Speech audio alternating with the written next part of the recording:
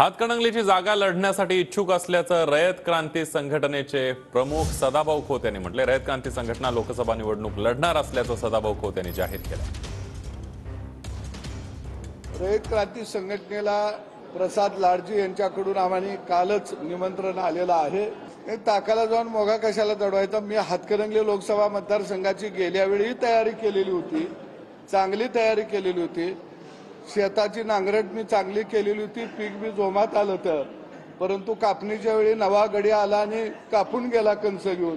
तर यावेळी आम्ही पेर तयारी केलेलं रान पेरायला आम्हानेच मिळालं पाहिजे ही भूमिका आमची